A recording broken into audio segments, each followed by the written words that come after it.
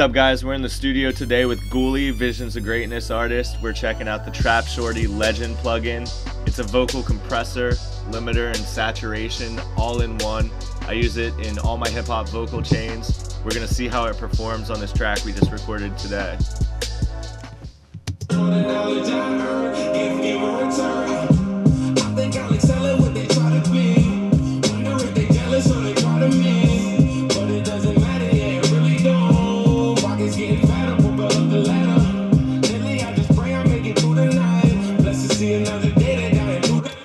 So, what I'm doing with it is I'm using it just sort of as a finisher on my vocal bus.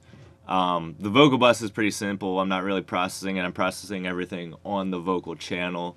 So they're just kind of ending at this limiter just to give just a little bit of saturation and drive. It also levels it out nicely uh, as a limiter here, preparing it for master.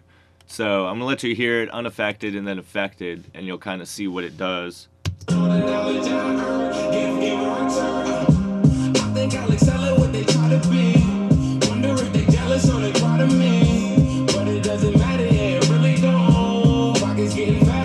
So it's very subtle. It's just a little bit of grit that it's adding and sort of bouncing it out. You got dynamics knob here so you can change the ratio.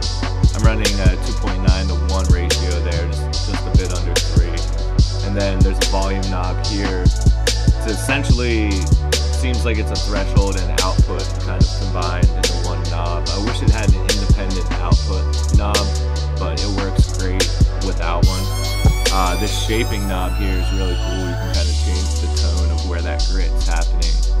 Um, so I'm letting this kind of shape the midtones a little bit on the drive and finish off the vocal bus before it hits the master with the beat.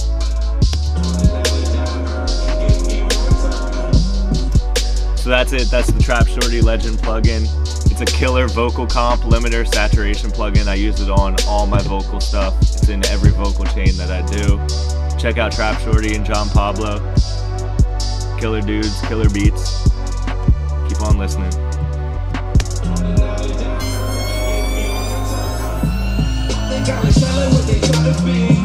Wonder if they jealous or they